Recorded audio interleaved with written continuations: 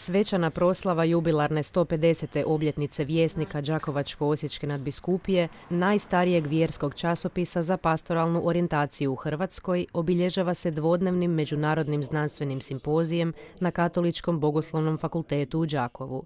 Više o samom vjesniku ispričao nam je njegov glavni urednik, profesor Boris Vulić. U siječnju 1000 e, 873. godine biskup Štrosmajer pokreće ovdje u Đakovu biskupijsko glasilo, tada pod nazivom Glasnik i njegova je želja bila da pruži usmjerenje, da pruži nadahnuće svećenicima, svojim svećenicima, to onda znači i vjernicima u e, pastoralnom životu, u evangelizacijskom dijelu.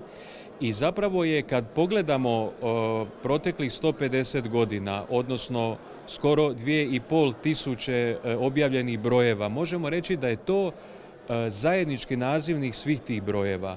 Pružiti nadahnuće, pružiti usmjerenje u evangelizacijskom dijelu. E, crkve. Drago mi je kao uredniku, 20. uredniku po redu, da mogu reći kako ga danas čitaju podjednako i naši svećenici i naši vjernici e, i kako odlazi osim u Hrvatsku e, našim čitateljima u još 13 zemalja. Đakovačko-osječki nadbiskup Monsignor Đuro Hranić naglasio je kako je vjesnik mijenjao svoje ime tijekom godina, no izlazio je neprekidno, unatoč čestim poteškoćama tijekom povijesti. On je prvenstveno bio i ostao časopis za pastoralnu orijentaciju svećenika, da svećenici surađuju i da se na taj način dodatno obrazuju. Vjerujem da to što je vjesnik tamo od 94.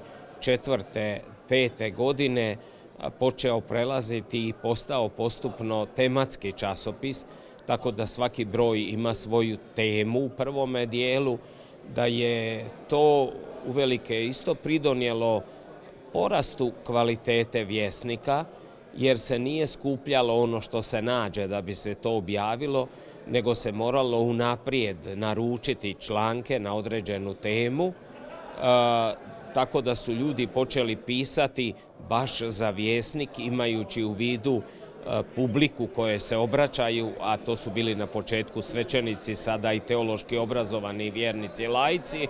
Tema ovog broja je nedjelja, a osim tematskog dijela kojeg svaki broj vjesnika donosi, tu su uobičajene rubrike Župnik i župa, vjeronauk i kateheza te vijesti iz života crkve.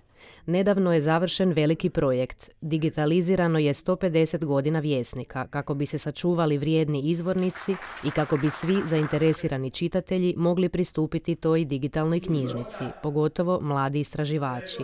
Osim zadnja dva, sva godišta su digitalizirana, a time je poslana poruka kako je naglasak još uvijek na tiskanim izdanjima. Program uz dvodnevni simpozij sa 28 izlagača obuhvaća i zahvalno misno slavlje i svečanu akademiju.